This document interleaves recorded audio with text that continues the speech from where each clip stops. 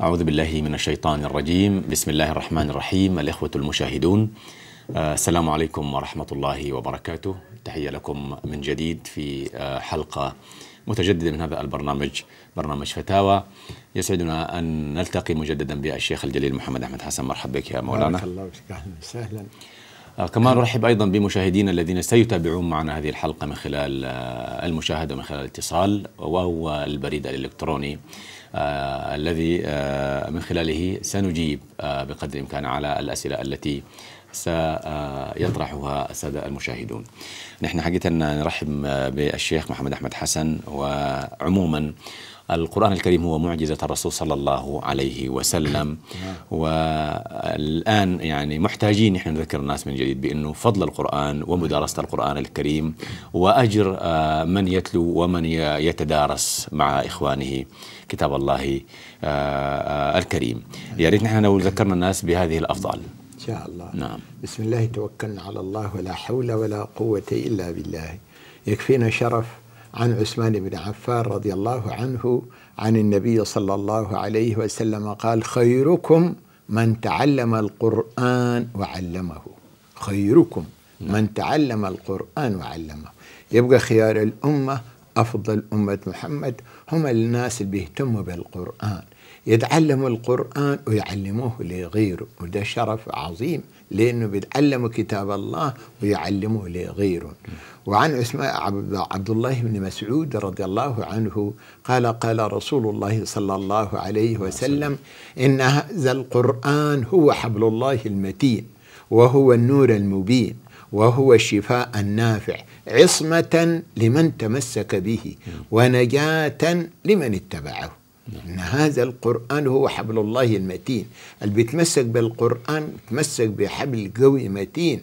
ينجي في الدنيا من المهالك وفي الآخرة من النار. كيف هو التمسك بهذا الكتاب؟ التمسك بالقرآن هو نحن نتدبر نتعلم القرآن ونعلمه ونقرأه بتجويد وبترتيل وبخشوع وخضوع وكمان بفهم لمعانيه. أهم حاجة فهم لمعاني القرآن. والإمام الزمخشري قال إن قوة الدين وكمال الإيمان لا يحصلان إلا بكثرة قراءة القرآن مع التدبر. والعمل بما فيه وترك نواهيه والعمل بما جاء فيه. يبقى دي قوة الدين وكمال الإيمان لا تحصل للذل إلا بكثرة قراءة القرآن. والقرآن أكبر مصدر من مصادر الحسنات. ونحن محتاجين لمثقال ذرة من الحسنات يوم القيامة عشان تتختم في كفة حسناتنا. لأن ربنا تبارك وتعالى قال ونضع الموازين القسط ليوم القيامة فلا تظلم نفس شيئا. وفي الآية الثانية قال تعالى فأما من ثقلت موازينه فهو في عيشة راضية. وأما من خفت موازينه فأمه هاوية. عبد الله بن عباس قال في تفسير السورة أي فمن زادت حسناته؟ ولو بحسنة واحدة من السعداء الفائزين. زاد السيئات عليه حسناته ولو بسيئة واحدة يدخل نار جهنم. ونحن محتاجين أكبر مصدر من مصادر الحسنات للمسلم قراءة القرآن.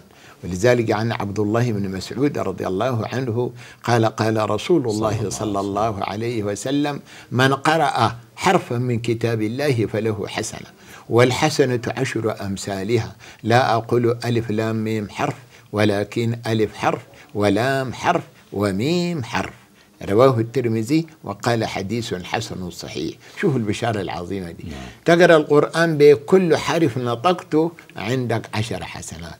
لكن الإمام النووي قال أجمع العلماء على أن لا يسمى قارئ القرآن قارئ للقرآن إلا إذا حرك اللسان. أي. وأجمع العلماء على أن الذاكر لله لا يسمى ذاكر إلا إذا حرك اللسان. يبقى نحن لما نيجي نقرأ القرآن ما نقرأ زي ما بنقرأ الجريدة. هسه الجريدة لما نقرأها تعاين كده ولساننا خشمنا مكفول ولساننا لا بيتحرك ولا شيء. كده قرينا الجريدة لكن قريت القرآن ما نقرأ زي قرأت الجريدة. أجمع العلماء على أن قارئ القرآن لا يسمى قارئ إلا إذا حرك اللسان. نعم. يبقى نحرك اللسان وبمع حركة اللسان نفكر في معنى الآيات ونخشع. ولذلك الزول لما يقرأ ويخشع يندفع لعمل الحسنات. قال تعالى الله نزل أحسن الحديث كتابا متشابها مثانية تقشعر منه جلود الذين يخشون ربهم ثم تلين جلودهم وقلوبهم إلى ذكر الله. ذلك هدى الله يهدي به من يشاء. انت جرب يوم كده أمسك المصحف وأقرأ لك سورة من القرآن بخشوع بتدبر وبترتيل وبتجويد خطيت المصحف تحس بسعادة عظيمة جدا تحس إنه قلوبك كلها خشعت للقرآن ولانت للحب العمل الصالح. هذا من نور القرآن ونواصل إن شاء الله نعم طيب التأدب لتلاوة القرآن واللي يعني إن لاحظنا كثير من الناس في البيوت مم. الواحد يكون داير يتلو القرآن فجأة الباب مثلا دقة يخط المصحف ويقوم يمشي أيوة. ما بتتحقق الطمأنينة الكاملة في كثير من الأحيان كيف الإنسان أيوة. يسعى حتى إنه ما يتعرض أثناء هو ما بيتلو في القرآن الكريم إنه أيوة. يكون منشغل أيوة. بأشياء أيوة. أخرى كويس شو إنه يتحيل الوقت اللي هو نعم. يكون فيه الهدوء بالليل بعد صلاة الصبح يكون الزول صلى الصبح في المسجد وهي ماسك وضوه ودخل البيت لغاية ما أم الأولاد تسوي له الشاي يقوم يطلع أو حتى كمان أخر سواة الشاي جمع وليداته وبنياته قعدوا في حلقة كده. قالوا له سورة جزء نص جزء ما تيسر من القرآن يدعو. ويكونوا حصنوا بيتهم بتلاوة القرآن واخذوا ثواب عظيم ولاداتهم نتعلم قراءة القرآن دي أحسن عمل الزول يعمله مع الصباح مم. أي بعد ما صلينا الصبح وقت لأنه الزول يبدأ في بداية اليوم الزول بقى يبدأ يفتتح يومه ده بقراءة ما تيسر من القرآن نعم. نعم. بقدر الإمكان نعم في كثير من الناس يعني بيفضلوا يرددوا أو يقرأوا آيات معينة أو سور معينة ومحددة هاي معلش يعني هي التحصين زي مثلا في الصباح والمساء الرسول عليه الصلاة والسلام ذاته حسان أمرنا بقراءة سورة الإخلاص والمعوذتين في الصباح والمساء وعند النوم قراءة آية الكرسي وقراءة سورة تبارك لأنها تنجي من عذاب القبر وسورة الدخان وسورة ياسين. وبين لنا فضل السور دي دول ممكن يعني ديل يقرأهن يوميا للتحصين.